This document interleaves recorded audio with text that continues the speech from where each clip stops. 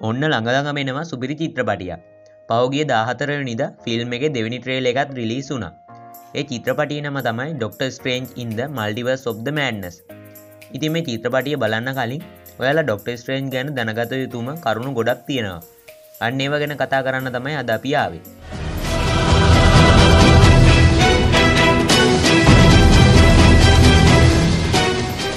Doctor ස්ටේෆන් strange කියන්නේ මාවල් comics විසින් ප්‍රකාශයට පත් කරපු ප්‍රබන්ධ චරිතයක්.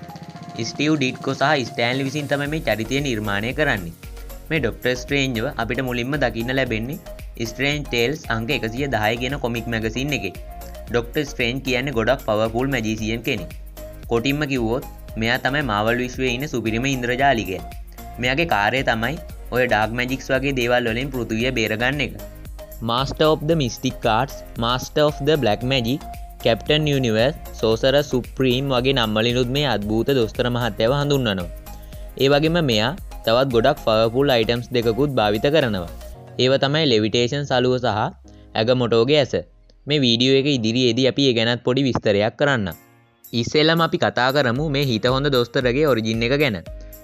ස්ටේවන් ස්ට්‍රේන්් කියන්නේ ගොඩක් දක්ෂ වගේම ආත්මාර්ථකාමී වෛද්‍යවරේ ඔහු ෆිඩෙල්පියාවල උපත ලැබූ අතර හැදී වැඩුණ නිවියෝක් නගරේ.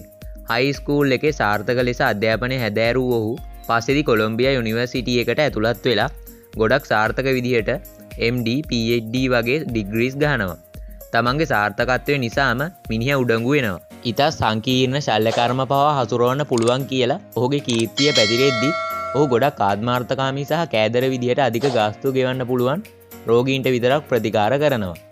මතකන දිදස් දාසේදයාපු ෆිල්ම් එකේදී මිනිිය පදින වන්ඩිය අහිංසක ලෙඩ්ඩුන්ගෙන් හම්බුකරපු සල්ලි තමයියේ එක දවසක් මෑන් ලැම්බොගිනිය නැගලා හැටර හැටේ පිඹගෙන ඇද්දි සිදුණු ගොඩක් දරුණු ඇක්සිඩන්ට් එකක් නිසා හෝට හොඳටම ඩැමේජ්ජනවා අත්වල අස්තිමිදිලා ගිහින් ඇගිල්ලොක්කත් හොලගන්න බැරි වෙනවා. ඔහොම දැනගන්නව මේ ඇගිලිවල ආබාධය සුව කරන්න බැරි බව. ස්ට්‍රේන්් මෙහම මම්මුලා වෙලා ඉද්දි තමන්ගේ දෑත් නැවතත් ඇතාතත්වයට පත් කරන්න මිලාදික ප්‍රතිකාර සිදු කරනවා. මෙච්චර කාලයක් ඔහු හම්බ කරපු සල්ලි ටිකෙන් ටික නාස්තිවලා යන්න පටන් ගන්නවා. ඔහුගේ යාලෝ පවා පස්සෙ දෙව්වෝ ප්‍රතික්ෂේප කරනවා. මෙහෙම ජීවිතය ගැන කලකිරිලා බාරකකට ගිහිල්ල ඉද්දි නාවිකයෝ දෙන්නේ කෝනෑම රෝගයක් සුව කරන්න පුළුවන් ඒන්සන්ඩ් වන් කියලා කෙනෙක් ගැන කතා කරනවා ස්ට්‍රේන්ට අහන්න ලැබෙනවා. පෞද්ගලික වශයෙන් ඔහු මැජික් ගැන විශ්වාස නොකළත් අවසාන තුරුම්පුුව විදිහට ඒන්සන්ට් වන්ව හොයාගෙන යන්න ඔහු තීරණය කරනවා. හැබැ ඒන්සන්ඩ් වන් ස්ට්‍රේන්ගේ උඩගුම කම නිසා ඔහුට උදව් කරන්න මුලදි ප්‍රතික්ෂේප කරනවා. මේ ඒන්චන්වන්ට ඉන්නවා බැරන් මෝඩෝ කියල ගෝලේ. ඒචන් වගේ උපදේශකය මරලා ඔහුගේ බලය පැහැරගන්න බැරන් මෝඩ උත්සාහ කරද්දි ඩොක්ට ස්ට්‍රේන් ඒක ඒන්චන්වන්ට කලින් දැනුන් දීලා ඔහුගේ හොඳ හිත දිනාගන්නවා ඉතින් මේ පුරාණ තැනැත්ත ස්ටීවන්ව ආදුනිකෙක් විදිහට බැඳවගෙන ඔහුව සුව කරනවා.